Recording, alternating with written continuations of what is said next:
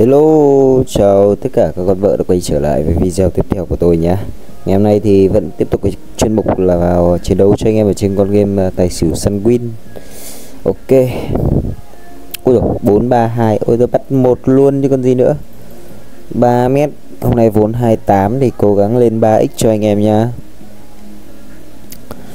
nhiều anh em hỏi về à, mẹo chơi, cách chơi thì à, uh, ôi bú rồi thì thực ra mẹo thì mình cũng chả có nhiều đâu anh em ạ. Nói chung quanh đi quẩn lại thì vẫn cái mấy cái mẹo cơ bản thôi nhưng mà áp dụng cực kỳ hiệu quả luôn. Cái quan trọng là khi mà anh em chơi thì anh em phải uh, thứ nhất là về cái tâm lý là phải tĩnh anh hiểu không? Phải tĩnh đấy. Luôn luôn giữ một cái đầu lạnh.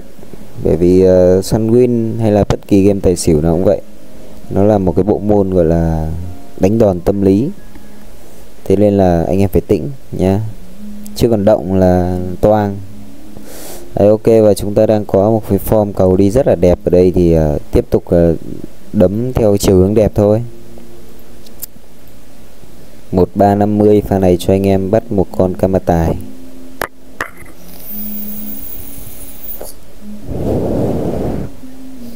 nào để xem là có bẻ mượt mà hay không.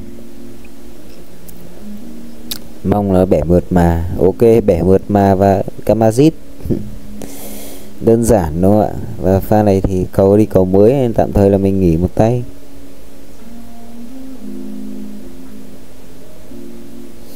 Tạm thời nghỉ một tay anh em nhé.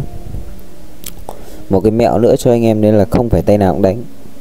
Tay nào đẹp thì đánh thôi, chứ còn tay nào xấu thì nên bỏ qua pha này nếu như mà đẹp thì nó sẽ về một một đúng không ạ? Đấy đi cầu ngắn. Sau uh, cái hướng cầu ờ, uh, 4321 mẹ siêu khét. Ui rồi mẹ thật sự luôn.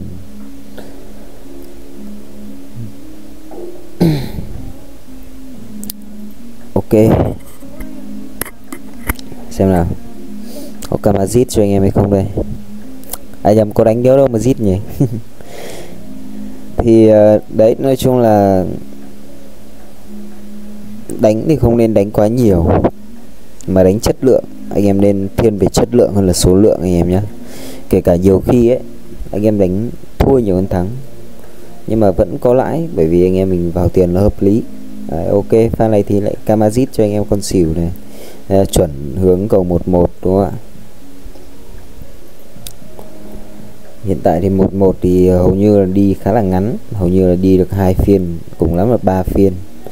Pha này mình thế sẽ thử bắt cho anh em một pha 11 đi 4 phiên. Uhm, đi bỏ cái số lẻ nữa.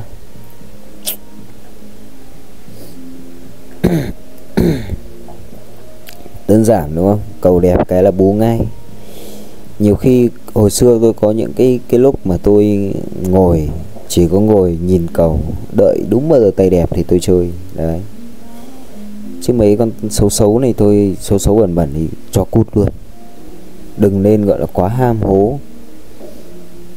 Tôi thấy rất nhiều anh em, cái điều đơn giản như vậy, nhưng mà anh em nhiều khi là anh em ham.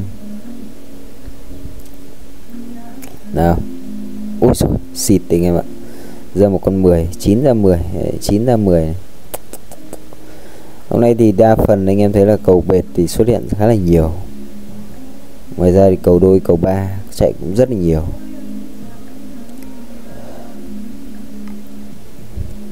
Nhưng mà hướng cầu ở đây đang có một cái hướng đi ngắn tay rất là cao.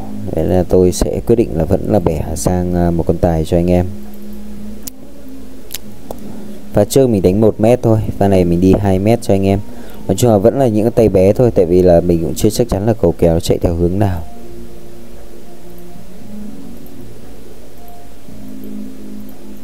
Chín mười mười một đi toàn sát nhau này, mấy chị đi pha này lòi thêm con 12 nữa thì úi rồi luôn. Chẵn xỉu uhm. ok, pha này đi cho anh em một con tài nhá để xem là có chạy theo hướng ngắn không. Ok, không chạy hướng ngắn anh em ạ, và ra một con 8 8 9 10 tạm thời tôi lại tiếp tục nghỉ một tay đã. Đấy. Biết đâu được nó lại chạy tiếp quả cầu 4 nữa thì úi rồi luôn. Khó. Nếu mà đánh thế thì hơi khó anh em ạ, thực sự luôn, rất là khó luôn đánh kiểu chạy cầu 4 nhưng ngoài ra thì chúng ta cũng có một cái form nữa, đấy là form cầu 13 ở đây.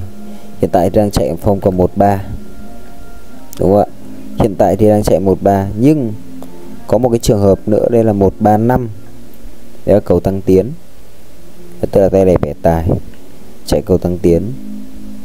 Có cái trường hợp xấu nếu nó chạy ra 4 và bẻ 4 bằng chân 4 bẻ rất nhiều, đúng không? Đấy. Ngoài ra thì nó vẫn có những cái trường hợp đi cầu bệt tạm thời là anh em mình nghỉ một tay đã. Tôi mong chờ con này nếu như mà đi cầu 4 thì tôi suy nghĩ là đẹp nhất thì vẫn là một con 8 chạy cầu kép, ok, đi ra một con 9 anh em ạ. Đợi, không về 8 cơ.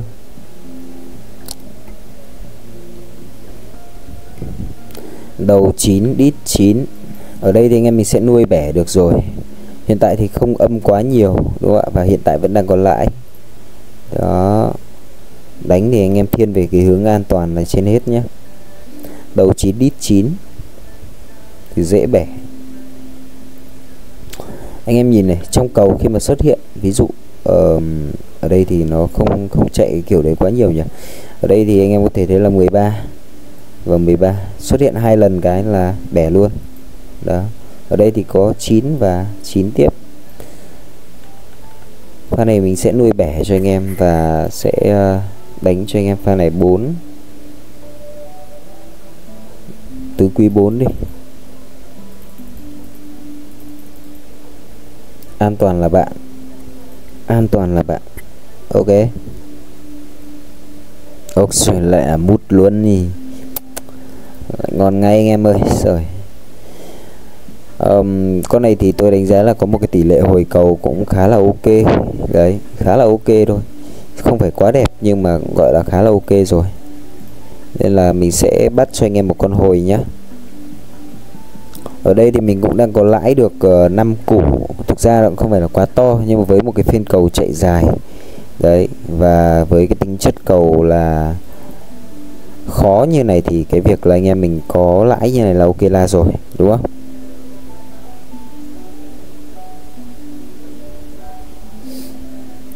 Là xem là có kama win cho anh em tay này không nhá.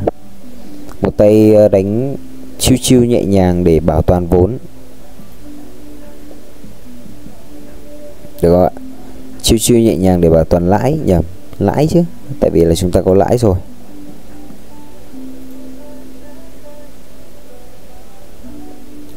Hồi cầu, ok, có hồi anh em ơi, có hồi nha tuyệt vời luôn, và chúng ta lên được 33 m 9 thì ờ, hồi xong thì nó đi cầu mới nên tạm thời là mình cũng không biết đánh cái gì nên là mình cũng uh, chốt và nghỉ ở đây thôi.